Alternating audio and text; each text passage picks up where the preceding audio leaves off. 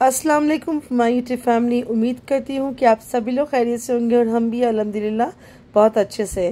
तो चलिए, आज बनाते हैं कोलकाता की best dish that means mutton rezala जो कि बहुत ही लोगों को यहाँ पसंद है ये डिश और चलिए, इसको ढाबा स्टाइल में बनाते हैं। किस तरीके से बनाते हैं, आइए देखिए। मटन रज़ाला के लिए मैंने यहाँ पर आधा के जी मैंने मटन लिया है। और प्लीज़ मटन आप लोग थोड़ा सा फैट वाला मटन लीजिएगा तो इससे टेस्ट ज़्यादा बढ़ जाता है। सो ये देखिए, मैंने मटन लिया है यहाँ पर। इसमें मैंने अराउंड टू टीस्पून पूरा मैंने जिंजर गार्लिक का पेस्ट डाला है।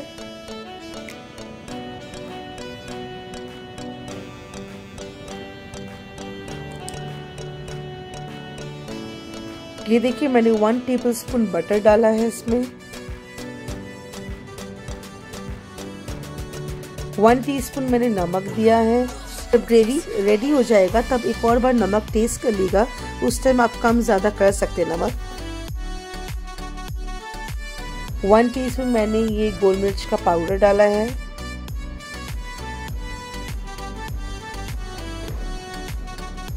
मैंने पाँच छः हरी मिर्चों को ग्राइंड कर लिया था उसका एक पेस्ट की तरह और वो मैंने इसमें डाल दिया क्योंकि इसमें हम लोग रेड चिली पाउडर नहीं डालेंगे, ये वाइट ग्रेवी रहेगा। इसीलिए मैंने हरी मिर्चों को यूज़ करा है और यहाँ पर एक कटोरी मैंने दही डाली है। इन सभी को अच्छे से आप मिला के इसको तकरीबन मैंने दो घंटे के लिए मैरिनेट करके रख दिया था फ्रिज में। अगर आप हो सके तो रात को आप लोग इसको मैरिनेट करके रख दीजिए फ्रिज में ओवरनाइट तो और अच्छे से ज़्यादा मसाला अंदर तक जाएगा।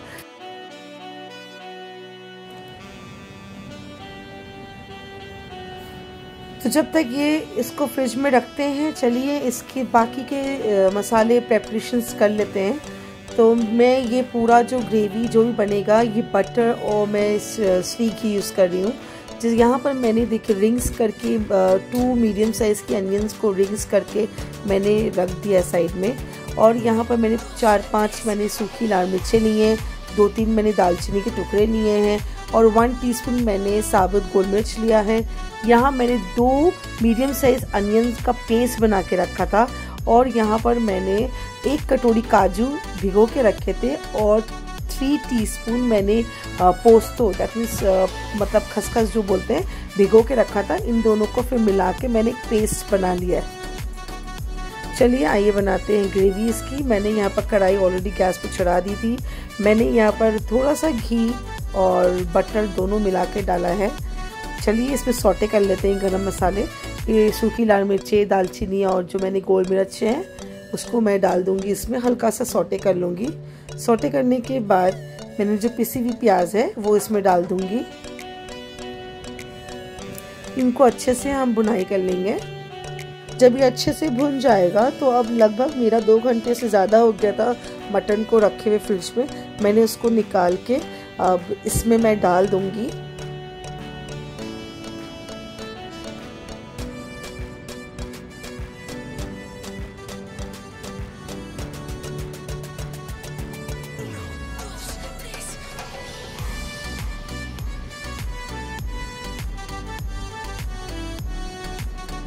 देखिए।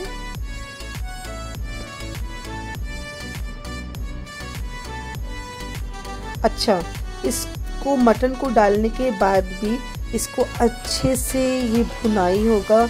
इस क्योंकि इसमें जिंजर गार्लिक का पेस्ट है मतलब और मटन है तो मटन की भी एक हल्की सी महक होती है। तो इन सबको अच्छे से भूनने के बाद मैं इसको प्रेशर कुकर पे तकरीबन दो तीन विसल हो जाएगा। सो मैं फिर उसको दस पंद्रह मिनट के लिए स्लो फ्लेम पे रख दूँगी। सो देखिए आगे का प्रोसीजर। देखिए किस तरीके से इसको मैं भुनाई कर रही हूँ।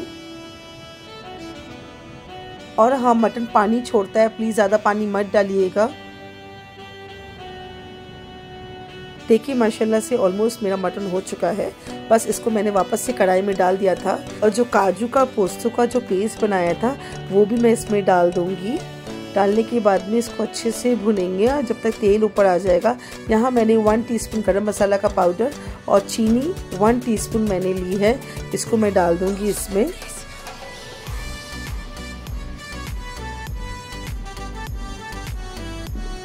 इसको अच्छे से आप लोग मिला लीजिएगा। हाँ और एक बात, बहुत लोग क्या करते हैं जब हम लोग वो जो प्याज मैंने रिंग करके, काट के डाली है, रखी है वो जब मैं फ्राई करूँगी, बहुत लोग सूखी लाल मिर्चें उसी के साथ फ्राई करके भंगार की तरह ऊपर से डालते हैं। ऐसा मत करेगा क्योंकि हम लोग ऑलरेडी इसमें रेड चिली पाउडर नहीं डाल रहे हैं। अगर हम लोग स्टार्टिंग में ही सोटे कर लेते हैं रेड चिली तो उसका क्या होता है फ्लेवर सब इसमें चले जाएँगे। सो बेटर यही रहेगा।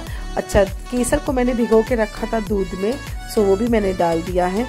दूसरी तरफ़ मैंने कढ़ाई चढ़ा दी थी, इसमें बटर और घी डाल दिया था।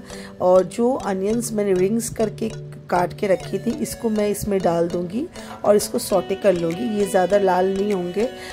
बस हल्का सा मैं इसको सोटे करके ये पूरा मैं उस पर पलट दूँगी। जो मटन का रिजाला जिस कढ़ाई में है, मैं उसमें ये पूरा डाल दूँगी। अच्छा थिक ग्रेवी है अभी। मैं इसमें पानी डालूँगी। थोड़ा सा ग्रेवी को हल्का सा स्लाइड नॉट ज़्यादा नहीं, हल्का सा स्लाइड मैं थोड़ा सा उसमें पानी डालूँगी। क्योंकि जब हम लोग कोई भी ग्रेवी बनाते हैं और जिसपे पोस्तो यूज़ करते हैं, काजू के साथ मिक्सचर तो वो क्या होता है ना, वो ग्रेवी बहुत ज़्यादा स्लो फ्लेम पे बनते बनते थिक हो जाती है। सो उसकी कंसिस्टेंसी को थोड़ा सा हम पतला करेंगे। और देखिए, अब मेरा ये अनियंस इसी तरीके से मैं ज़्यादा फ्राई नहीं करे, मैंने इसमें डाल दूँगी। ये देखिए, अभी भी ग्रेवी थिक है। तो बस इसमें मैं एक और चीज़ में डालूँगी, वो है मखाने। उसको भी हल्का सा बटर में सोटे कर लूँगी। सोटे करने के बाद मैं डालने के बाद में उसमें दो कप पानी डाल के स्लो फ्लेम पर रख दूँगी। और फिर मैं आपको प्लेटिंग करके दिखाती हूँ कि मेरा मटन रिजाला कैसा बना, माशाल्लाह से बहुत ही बहुत ही ज़्यादा मज़ेदार बना था और सब घर वालों को बहुत ही पसंद आया। सो अगर आपको मेरी रेसिपी अच्छी लगती है सो प्लीज़ मुझे लाइक शेयर सब्सक्राइब करना मत भूलिए। प्लीज़ कमेंट बॉक्स में बताइए अगर आपको मेरी रेसिपी अच्छी लगती है और बेल आइकन को प्रेस कर दीजिएगा। अल्लाह हाफिज़।